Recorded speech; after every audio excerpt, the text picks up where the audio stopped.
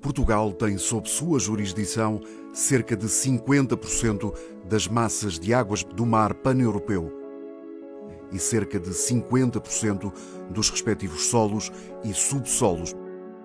O posicionamento geoestratégico do nosso país deve ser aproveitado para o desenvolvimento do espaço marítimo, mas também para influenciar as políticas da União Europeia.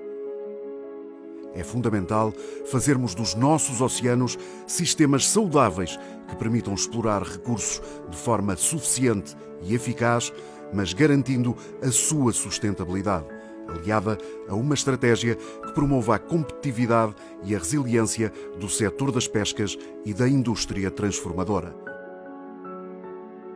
20 de maio, Dia Europeu do Mar.